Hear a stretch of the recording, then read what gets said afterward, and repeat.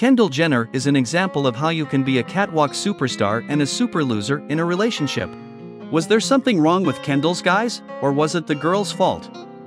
Subscribe to the channel, like the video, and find out what a terrible flaw prevents Jenner from going down the aisle.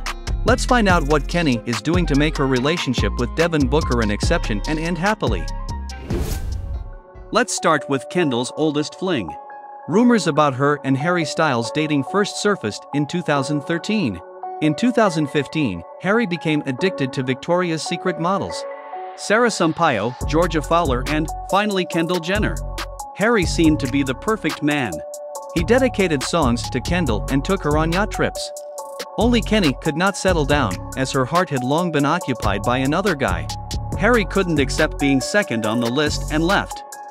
And um, and you and Kendall are, are really good friends now, Mhm. right? Yeah, been friends for um, a while now, yeah. Yeah. Dunois was informed in 2022 that his new flame, Olivia Wilde, may soon become his wife. If Kendall stayed, would she get the role? Hardly. Once, she wasn't able to keep the possible fiancé. At first, there were rumors that Bieber was dating Kim Kardashian, then Courtney, and then he was constantly spotted with Kylie and Kendall in 2013. Just set him up with my sister, uh, Kendall, who's 14, and then he had responded in an interview saying that um, no, he didn't want to be hooked up with my sister.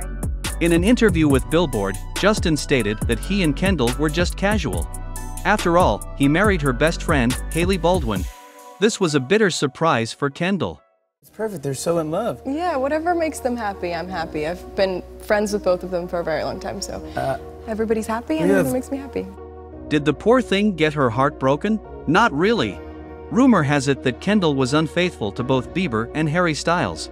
Later, she even dated two guys simultaneously ASAP Rocky and Jordan Clarkson. But it seems that karma punished the girl for her behavior.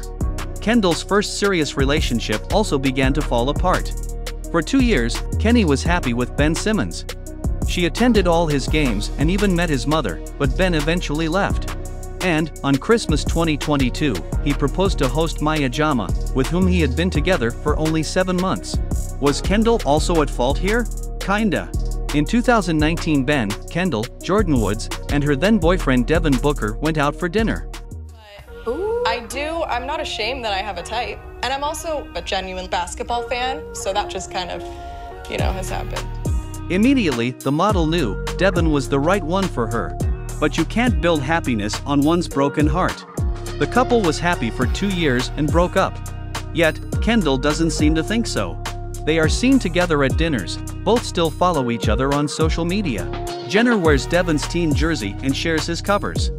Do you think Kendall is trying so hard to get Devin back and have a happy ending, at least with one relationship?